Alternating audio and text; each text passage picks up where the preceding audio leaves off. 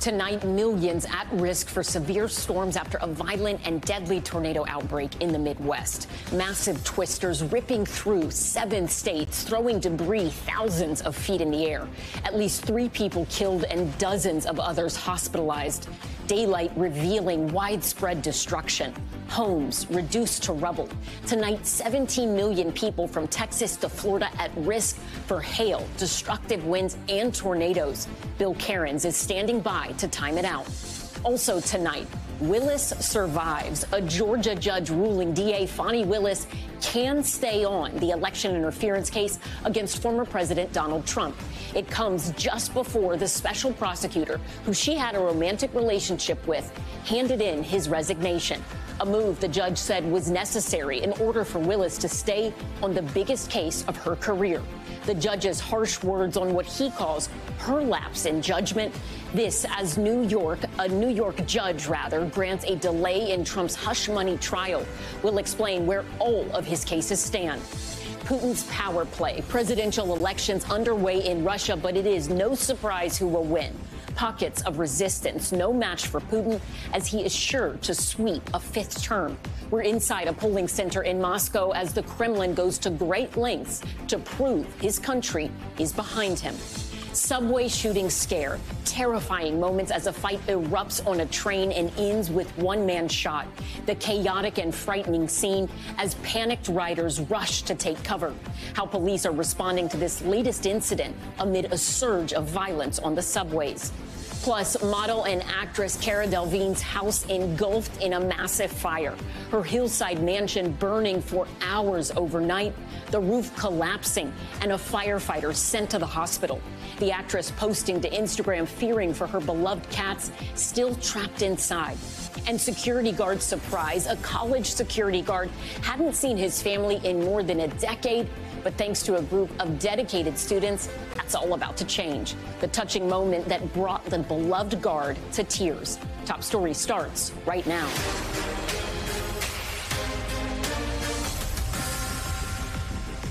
Good evening. I'm Ellison Barber in for Tom Llamas. The Midwest reeling from a violent and deadly tornado outbreak, and tonight more states are at risk.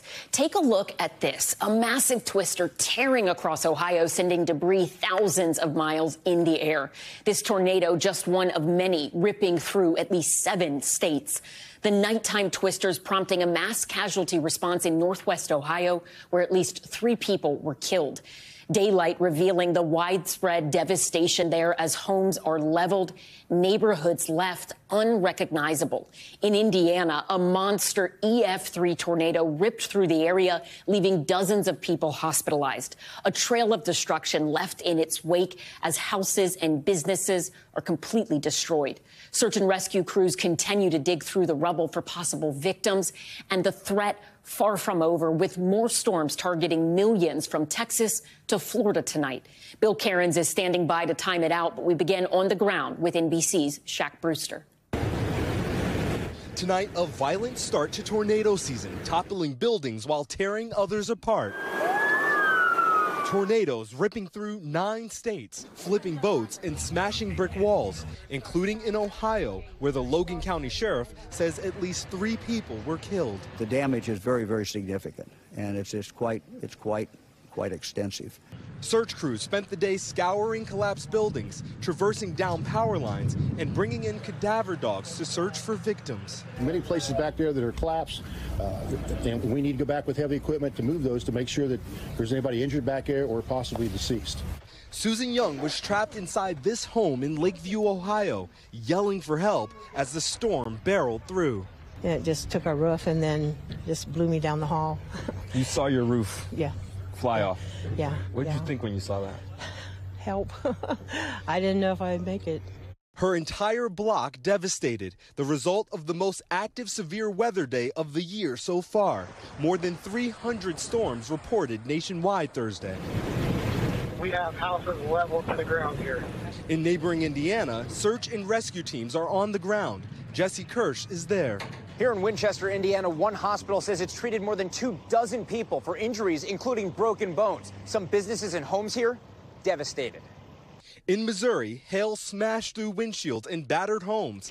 Experts say the warming climate is leading to more frequent tornadoes happening earlier in the year and further north than usual. On a day many lost everything, Susan tells me it could have been worse. Really glad to be alive. It was it was scary. And with that, NBC News correspondent Shaq Brewster joins us from Lakeview, Ohio. Shaq, do officials fear the death toll there will continue to rise? Hi there, Ellison. Well, that was certainly the case this morning, but this evening, the county sheriff is telling us that the search and rescue mission is complete and that despite the path of destruction that you're seeing, he believes there are no individuals who are currently unaccounted for. And meanwhile, the governor of this state vowing that despite the destruction you see and the businesses destroyed and homes and families displaced, he says that this community, Ellison, will be back. Shaq Brewster, thank you. NBC News meteorologist Bill Karins joins me now. Bill, I mean, it has been an incredible two days of storms. Where do things stand right now? 17 tornadoes now in this outbreak over the last two days. Most of them were last night. Just how widespread they are is pretty incredible. Nine different states from Texas all the way to Ohio. And it's amazing we didn't have more lives lost. And I think one of the important reasons why is that the people in these manufactured homes that were just destroyed, I mean, there's just rows of houses that were destroyed, people left them because they had a good heads up. They had enough lead time to evacuate and get out of harm's way. So this was the line of storms. Winchester, Indiana, and Lakeview, Ohio. These were the two hardest hit areas with the manufactured homes. And the tornado warnings went out at about the same time, right around 730. Both of them had about 22 to 24 minutes of lead time. So the alerts went off on their phones. People knew the tornado was coming and they got to safety. Uh, you know, this saved lives because of the job that was done by the National Weather Service. So that's fantastic. Now, as far as what we've dealt with the last 12 hours, strong storms rolled through Louisiana. Now they're in the Florida Panhandle. We still have a lot of nasty weather in areas of Texas, and that'll continue into the overnight hours. It has been a very difficult evening rush hour around Houston. A lot of big thunderstorms, hail reported with these, not only damaging hail, but still difficult driving conditions. So one storm's exiting over Houston and a huge storm just to the south there of the Houston area. Look all the lightning strikes with that one. So where do we go from here? Over the weekend, we're still going to have isolated severe storms, not as widespread. Again, looking at South Texas, San Antonio down to Corpus Christi. And a lot of this mess will be moving along the Gulf Coast this weekend. Rest of the East Coast, West Coast looks fine just along the Gulf Coast, Ellison, where they're having the bad weather right now. That's going to return on Sunday. Mm. Bill Karins, thank you. We want to turn now to that other major news we've been following tonight. A Georgia judge ruling that embattled Fulton County DA Fani Willis can continue leading the election interference case against former President Donald Trump but only if the special prosecutor she appointed and had a romantic relationship with steps down. That prosecutor, Nathan Wade, turning in his resignation letter earlier today. NBC News correspondent Blaine Alexander has been following this case from the beginning and has the latest tonight from Atlanta. He was front and center when Fani Willis announced her criminal indictment of Donald Trump. But tonight, Nathan Wade, the man leading the prosecution against the former president for allegedly trying to overturn Georgia's 2020 election results, has resigned. The culmination of a months long spectacle after one of Trump's co defendants, Michael Roman, exposed a romantic relationship between Wade and Fulton County DA Fani Willis, who hired Wade on the case.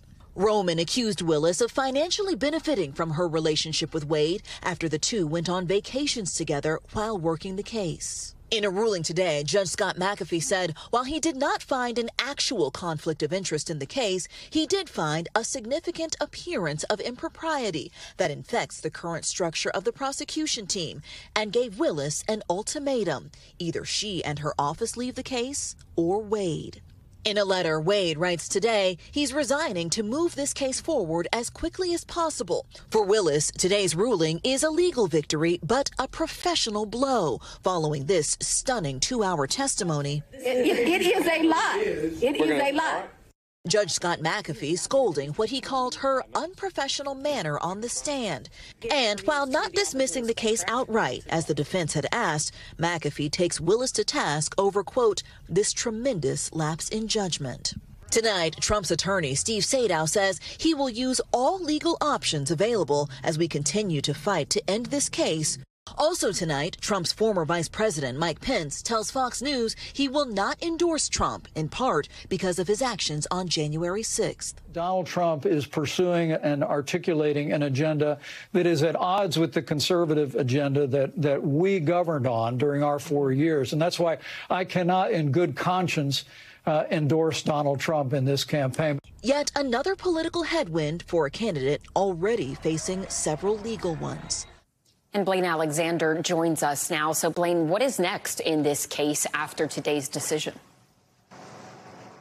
Well, Ellison, a lot of that depends on what the defense attorneys decide to do. They are able to ask for an appeal in all of this, and at least one defense attorney has signaled that that's not an option that's off the table. And so, if that's something that happens, we're talking about another few weeks of delays while this process goes through. But in the grander scheme of things, you know, initially Fani Willis had wanted a timeline of a trial to start by early August. That was already ambitious before this past two and a half months of motions trying to remove her. But now it seems almost all but impossible that this will tr- go to trial before the election. Hmm. Ellison. Blaine Alexander in Atlanta, thank you. For more on what this case means, or what this means rather for the case itself, I want to bring in NBC News legal analyst and friend of Top Story, Danny Cevallos. So, Danny, let's just start with the judge's decision here, that point. Judge McAfee, he didn't say everything was good here, also didn't completely upend everything. Were you surprised by the judge's decision? I was not. It was a very Judge McAfee decision based on what I saw during the hearing, right down the middle. Uh, everybody won and everybody lost at the same time. The Fulton County DA's office wins in that it gets to stay on the case, but it loses in that it sure doesn't look good in doing so. And the defense technically wins part of their motion, but a tiny little part of that motion. And even though they've only succeeded in getting rid of one prosecutor, it's a major victory for the defense, in my view, because they do slow down the momentum of the case. Although, if Nathan Wade really billed $800,000 in two years, I really don't think we're going to have that hard a time finding somebody else to take the reins. In fact, I'm applying to the Georgia bar as we speak on my phone because apparently everybody's billing $800,000 yeah. a year down there. Uh, so let's talk a little more about Nathan Wade. I mean, is it really disruptive to a prosecutor's or the prosecution's case to have someone who was seemingly very important, kind of one of the main point guys on this case to be gone this late. Yeah, on the one hand, if he is the team leader, then yes, it's very disruptive. But on the other hand, I can't help but wonder. I mean, they have at least one other special prosecutor, maybe more. I don't remember the count. And also, the Fulton County DA's office isn't East Ham Sandwich out in the boondocks. It is a major city, hundreds of DAs in that office. There have to be some line prosecutors who can step in and fill out uh, their needs, or they should be able to find someone. And I, I know I was being glib before, but look, at 250 an hour, given what Nathan Wade billed, I don't think the job will be vacant for all that long. But yes, in the sense that everybody's coming to work every day with their lunch pails, getting to work and prosecuting this case, this has been a major disruption. Not even because you have to find a new prosecutor, but think about this. Think about the line prosecutors on this team. At some point, there had to be a conversation, Ellison, where they say, hey, I know you're working on the Brad Raffensperger phone calls on this case. We're going to take you off that and put you on the Fani Willis Napa Valley trip uh, part of the case. Something you never planned on doing as a line prosecutor. Here you are in the case of a lifetime. It could make your career. And frankly, I think we'll find out in a few years that these prosecutors, at least some of them, were pretty irked at the idea that they had to stop working on their case and focus on defending Nathan Wade's divorce interrogatories or whether or not their boss paid cash when uh, the other prosecutor and her went to Belize. Uh, I think if I were a prosecutor on that team, I would be really frustrated right now. So probably morale is down. They'll find someone to fill uh, Nathan Wade's shoes, but it is a blow. Is this something, uh, some of the issues that the judge raised where he said that Fani Willis showed a lapse in judgment, uh, is that something that the defense team, and this is a complicated case, case, we're talking about a RICO case with multiple co-defendants, can they bring that back up as this case moves forward? You bring up a really interesting point. At the core of this, none of this motion really goes to the substantive facts of guilt or innocence. The argument is it affects due process. The argument the defense made is that this affects the right to a fair trial. And the appearance of impropriety does relate to that. Maybe not directly, but tangentially.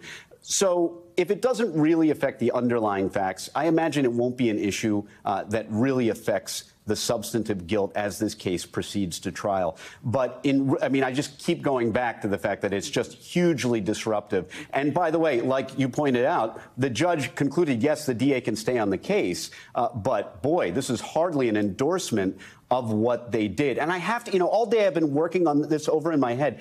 It's very unusual to get a decision that gives a choice. Mm-hmm. Uh, usually, an order is just that it's an order, thou shalt. It's not, thou shalt make a decision. Mm-hmm. Uh, and it's so interesting to me that this appearance of impropriety, well, either it's the entire office or it's one guy. And that seems like a pretty strange thing. Is it really either the entire office or is this fixed by just getting rid of one guy? Mm. I'm really not sure. Uh, and this is a strategy we've seen from the Trump team of where they've tried to delay in a number of trials that delay works in their favor, they seem to think, right? And that certainly is one of the arguable wins for them as it relates to what's happened in Georgia right now. But when you're looking at some of the other cases, obviously this is not the only uh, case Trump and his vast legal team are dealing with. Very quickly, what else are you watching on some of those other cases? There are four criminal cases against Trump. Two are federal, two are state. Uh, what a difference delay makes in the federal cases because if Donald Trump is elected and inaugurated, he can simply get rid of those federal cases. A couple different procedural ways. The state cases, it's not so easy. But constitutionally, we're not entirely sure what happens if a sitting president, someone, a state prosecutor tries to put him on trial, or worse, tries to imprison him. We just don't know what happens. So delay helps Trump in both state and federal, more in federal, but maybe also in the state cases. All right, Danny Cevallos, thank you so much. We appreciate it. We're going to turn now to the terrifying scene on a New York City subway train. This happened last night. Video from a passenger capturing the moment a fight breaks out before one man was then shot in the head as frightened riders cowered on the other end of the car. Our Stephen Romo has the details and a warning. Portions of this video are difficult to watch. Tonight, horror on a New York City subway. Commuters running for their lives after police say a man was shot during a fight on board a moving train. This woman, who recorded herself caught in the middle of it all, recalled the terrifying moments before she was helped into an ambulance for treatment. I was screaming myself, then everybody started running me over. It was so short, I heard. Police say it all started when this 36 year old man entered a Brooklyn subway station Thursday afternoon during rush hour. About 10 minutes later, that man started an argument with a 32 year old rider. That quickly escalated into a physical fight. A woman passenger appearing to stab the 36 year old in the lower back. That man then pulling out a gun, sending panicked passengers running to the other end of the subway car. According to police, the gunman was disarmed by the man he was fighting and shot with his own gun four times just as the train pulled into the station. That sent commuters into an even bigger frenzy. Officers recovered the gun at the scene and rushed the 36 year old to the hospital where he's in critical condition. Police detained the shooter at the scene, but the Brooklyn District Attorney's Office is saying they are not filing criminal charges, citing evidence of self defense. Police say the woman who allegedly stabbed the aggressor is not in custody, and they're not saying whether she could face charges. Some witnesses still in shock. People were praying, huddling on top of each other, hugging each other, trying to reassure one another that everything was going to be okay. This all comes just a week after New York Governor Kathy Hochul announced a team of a thousand National Guard troops and state police officers would help secure the country's most traveled subway system. These brazen, heinous attacks on our subway system will not be tolerated. Police saying riders shouldn't be afraid of taking public transit despite this latest incident. We are keeping a large system and a large amount of people safe. The most recent NYPD figures show that the number of shootings and transit crime both dropped by more than 15% in February compared to last year. But some commuters say it's not enough. Honestly, um, it's out of control. NBC News correspondent Stephen Romo joins us now in studio. Stephen, a terrifying scene. I mean, we are both subway riders. This is everyone's worst nightmare. When it comes to those actions Governor Hochul is taking to try and deal with some of the situations happening in the subway, What is the public and riders? What do they think about that? Well, there's been a lot of criticism of that decision to put the National Guard in the subway. People are getting their bags checked. And it's just some odd to see the National Guard troops down there in the subway system. Some civil rights groups have also raised concerns about the uh, the bag searches and all of that. But we're only a week into this plan, so it's uh, too early to see exactly if it will help the situation, but it obviously did not prevent what happened last night on the A train. So many people are pointing that out right now and questioning if this really is the answer. All right, Stephen Romo, thank you so much. We appreciate it.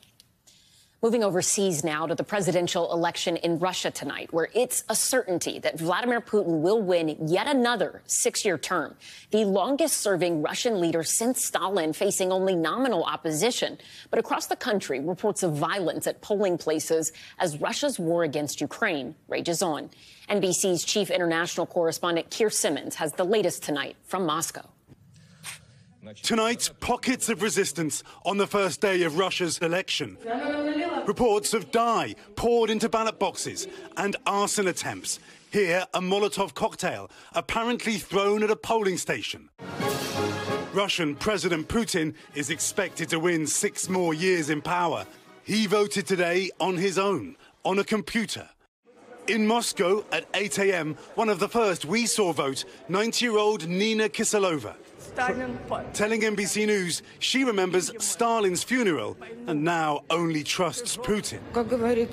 We live well, says Svetlana Kulikova. That's why I voted for Putin.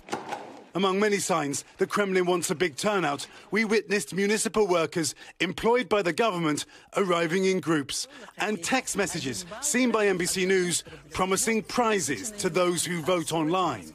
While this election observer told us new electronic voting can't be verified. You cannot know what's happening when someone votes online or electronically. You just don't know, right? Da, da. International election monitors will come from 106 countries, Russia says, including China. But independent Western observers are not welcome. None of the three men running against Putin have criticized him, and none poll higher than 6%.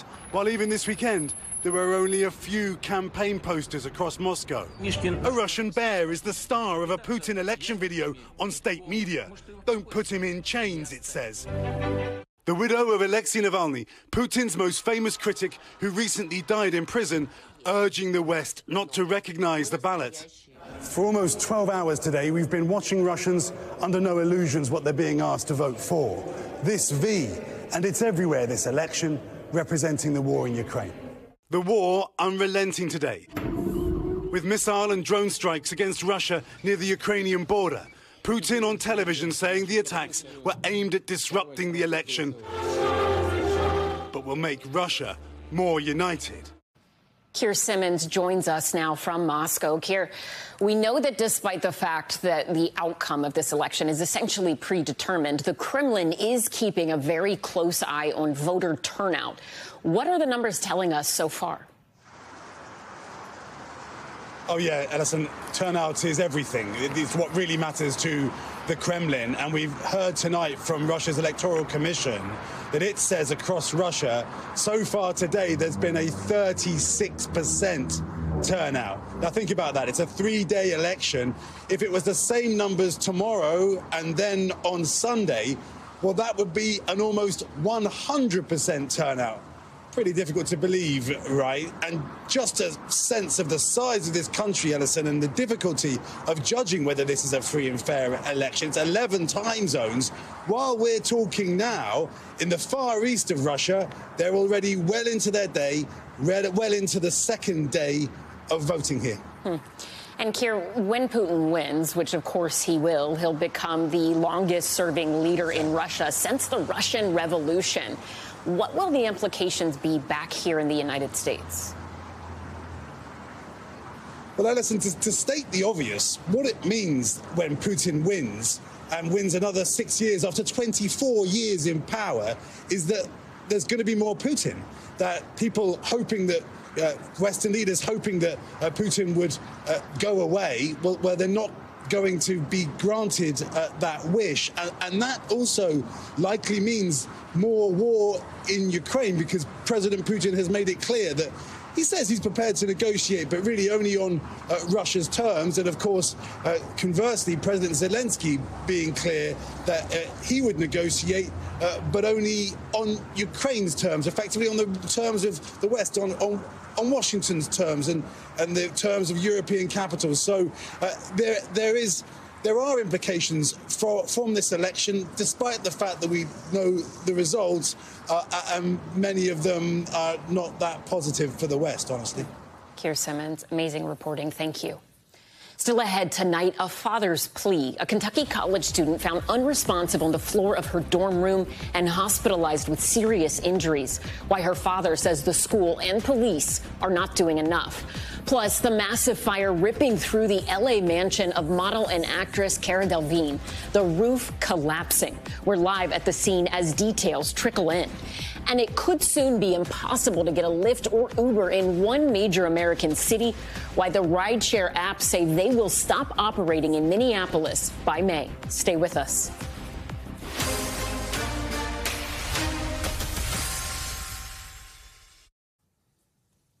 We're back now with a developing story out of Los Angeles. A massive fire destroying the home of model and actress Cara Delevingne. Aerial footage shows smoke billowing from the multi-million dollar mansion as the fire burned for hours. Nearly 100 firefighters were on the scene throughout this morning. The actress, thankfully not there at the time. NBC Los Angeles reporter Christian Cazares joins us now from the scene of the fire. Christian, walk us through what we know at this hour. Well, Ellen, I can tell you the firefighters have been here for almost 12 hours now. Check it out. This is a live look here outside of the English model and actress's home. And you can see the fire trucks here parked right outside of the home. They are just basically cleaning up here. Now, LA City Fire telling us the call came for a large two story home uh, fire around 4 o'clock this morning. But when fire crews arrived, they say they, they had a hard time finding the fire and the smoke because of the long driveway. Now, it took crews two hours to knock out this fire. They say it was an overall very extensive fire operation because of the size of the home. And as you mentioned, it took almost 100 firefighters here uh, to face this challenge. Now, uh, again, the model and the actress was not home when the fire happened, but LA City Fire telling us only a housekeeper was here at the home when the fire happened. And we're told she was able to walk away with uh, no major injuries here. So some good news to report yeah. there. Christian, do authorities there have any clue as to what caused this fire in the first place? Well, as of now, the cause is still under investigation, but I do want to show you a very interesting uh, piece of information that some of the neighbors were sharing with us today. I want to show you here a live look here uh, from the neighborhood. You can see that there's just so much greenery here, and their biggest concern, they tell me, is that all the properties here, they share branches. So as you can imagine, they were concerned, they were scared that this fire was easily going to be jumping from property to property here. Fortunately, that was not the case, but of course, a very scary situation here for so many neighbors neighbors this morning. And there was a lot of concern for Cara's two cats. I mean, she posted a photo, we can show our viewers here, uh, on Instagram of her cat saying that her heart is broken. Uh, we hear there might be an update tonight about how those pets are doing.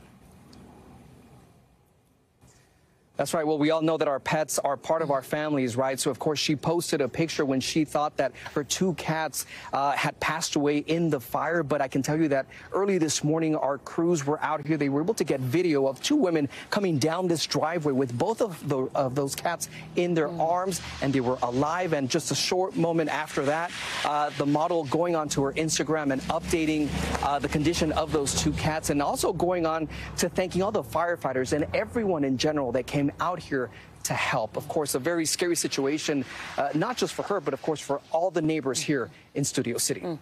Christian Cazares in LA, thank you so much. We appreciate it. Turning now to the mysterious incident involving a college student in Kentucky who nearly died from gruesome injuries she suffered in her dorm room. Her father now speaking out, frustrated with the lack of answers from the university and law enforcement. NBC News correspondent Elwyn Lopez has this report a father's nightmare unfolding at his alma mater, Asbury University. There's no way, you know, that these could have been caused by anything other than somebody doing something you know, to her. These photos showing her gruesome injuries. Andy Willingham's daughter, Isabella, found unresponsive in her Kentucky dorm, rushed to the ER. Her father says he learned she had stopped breathing for 23 minutes. At about 11 o'clock that night, we get a call from the resident director of her dorm, and they tell, or she tells us that Bella is in an ambulance on her way to the emergency room, that she had been found unresponsive in her dorm on the floor by her roommate. Her father says the 21 year old student was put on a respirator, unable to breathe on her own. She wasn't released from the hospital for more than a week. But how she ended up unconscious is still a mystery. As a parent, I want to know if there's a possibility of somebody coming into the, you know, school and into the campus that that could be, you know, potentially dangerous. He says he was initially told that it was believed she had fallen from her bunk bed, but her injuries seem to tell another story. The Jessamine County Sheriff's Department telling NBC News that this is, quote, an open investigation at this time. In a statement, Asbury University says it is, quote, unable to provide any updates or specific information at this time, and that the school's priority remains the safety and well being of its students, faculty, and staff. Willingham speaking out now because he thinks the university has not done enough to alert students about the incident. I contacted them and I said, This is not okay. You have to send something else. You got to give details so that if somebody knows something, they will be able to come forward. And uh, the school's response to me was, We feel like we've done everything we can do. And Ellison, the student's father, tells us that his wife spoke to their daughter earlier that morning that she wasn't feeling well and that she was not going to go to any of her classes. As far as we know, no charges have been filed in this case and no suspects have been named. Mm. Ellison? Elwyn Lopez, thank you. When we come back, an urgent warning for pet owners in Southern California. A deadly illness affecting about a dozen dogs in Riverside County. What researchers now believe is the cause. That's next.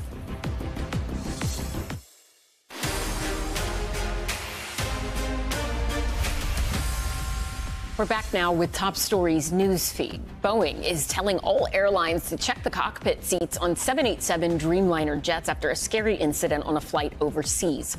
According to the Wall Street Journal, a LATAM Airlines flight attendant hit a switch on the pilot's seat while serving a meal, causing the plane to nosedive.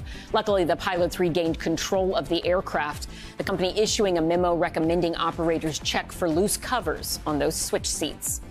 And researchers in Southern California have pinpointed a parasite causing a fatal illness in pets. Experts finding the parasite in snails that live in a portion of the Colorado River that runs through Blythe. That's a city about 220 miles east of Los Angeles. Researchers say about a dozen dogs that were sickened had visited that area. Pet owners who have taken their dogs near the Colorado River in Riverside County, they are urged to get their pets tested if they begin experiencing stomach issues. And Uber and Lyft planning to stop operating in Minneapolis in Minneapolis on May 1st. Both rideshare companies saying the decision has to do with a new minimum wage law for rideshare drivers. If the bill passes, drivers would start being paid $15.57 an hour. The city's mayor has vetoed the measure, but the city council voted for an override. Lyft said in a statement the bill makes its operations, quote, unsustainable. We turn now to a shocking bullying incident in Massachusetts. Six juveniles charged after a discussion on the app Snapchat that involved, quote, heinous language, threats of violence towards people of color, and a mock slave auction. The district attorney condemning the students' actions. With this, I intend to be very clear. Hatred and racism have no place in this community. And where this behavior becomes criminal, I will ensure that we act and act with swift resolve, as we did here, to uncover it and bring it to the light of justice. The six students now facing charges that include interference with civil rights, threat to commit a crime, and witness interference. Joining me now for more on this incident is Allison Lopez, the mother of the 13 year old student targeted and Bishop Talbert Swan. Thank you both for joining me tonight. I wish you didn't need to because this is something that should not happen to anyone. And Allison, we are so sorry for what you and your family are going through right now. But could you tell us a little bit about your daughter? How is she doing? She's she's struggling. She still continues to struggle. Um, this incident has not really um, allowed her to breathe comfortably since it first happened. Um, yesterday, when the district attorney Gulluni made his statement, it was a sort of relief for her somewhat, but at the same time, it has not been a relief. So today she still struggles. Can you walk us through what happened? I mean, how did you and your daughter learn about this seemingly appalling, horrific Snapchat discussion? She woke up on Friday, February 9th, um, normal morning routine to get ready for school. And, you know, as a typical teenager, they wake up, they check their phones before their morning start to put on their music to get ready, so have you. And when she woke up, she woke up to a removal from a chat feed that she was unsure of. And the person who removed her from the chat was a name that she was not familiar with as a friend. Um, at that point, she probably asked a question to another person, and the person said, Well, there was an online chat they heard that happened that night that her name was part of, and it was something to do with race. And that's how it started. Um, I immediately asked her what was wrong because she came into my room really sad and crying, and she said, I didn't want to go to school today. And I said, Why? And she said, Because, you know, the kids are mean. And I said, well, we're going to school because, you know, this is what we're supposed to do, not knowing what it really was. Mm. And it's not until a couple hours after she arrived in the school is when I received a phone call of what exactly happened. Bishop Swan, as we mentioned, the district attorney charging these six students. But earlier this month, the Greater Springfield NAACP filed a complaint with the state against the Southwick School District where this occurred, saying officials there have not properly punished the student responsible and pushing for investigations into past instances of racially charged bullying. In your mind, Bishop, are these charges from the district attorney sufficiently addressing the problem? And should the school and the school district be doing more? I think the district attorney's actions are appropriate in terms of holding accountable the individuals that engage in this horrific scenario. I think the school district needs to be held accountable. Um, these incidents uh, have happened over a prolonged period of time. Once we kind of expose this particular incident regarding Ms. Lopez's daughter uh, and the previous incidents that preceded the slave auction, we had we have had families to come out of the woodwork sharing their experiences when their children attended school in Southwick. Parents who say they left the school district. Parents who say we sold our home and moved out of Southwick. Um, graduates of the school who started an online petition to hold the school district accountable, saying they experienced it while they were there, and then teachers of color who say they taught in the school district and left the school district because of racism that went unaddressed. So this is a pervasive problem in the Southwick School District, and we thought that the Department of Education needed to do some due diligence in terms of investigating whether or not they are taking proper steps to get rid of this environment that makes it so easy for these things to happen. Allison, what is your message to the students tonight who did this to your daughter? I'm sorry. I'm sad. I'm disheartened by the behavior. I'm appalled. Um, I think. I think the lesson, um, the message from the district attorney yesterday still has not resonated, because as of yesterday, after the district attorney made his statement, they continue to be racist, derogatory remarks posted on a restroom in, the, mm. in one of the in one of the um, the bathrooms in the building in the mm. school yesterday. So, you know, as of today, right now, as I sit here, um, I think there's a lot that still need to be learned and need to um, be shared with the students, with their parents, and with the administration. Mm. Because as of today, the kids don't get it. The parents don't understand. Mm. You know, they feel that the, the district attorney decision is harsh. Um, but at the same time, it's necessary it's necessary. Because when my daughter came home from school yesterday, she said there was something else in the restroom. Mm. Ms. Lopez, Bishop Swan, thank you both for being with us tonight and sharing your story. We will continue to follow this. Thank you. Coming up, a Netflix star convicted. The Squid Game actor and Golden Globe winner found guilty of sexual harassment. The sentence handed down today in a South Korean court.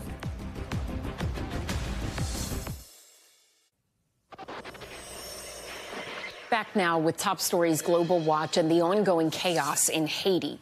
New video showing black plumes of smoke billowing out of the nation's largest prison during a TV broadcast as a fire burned inside.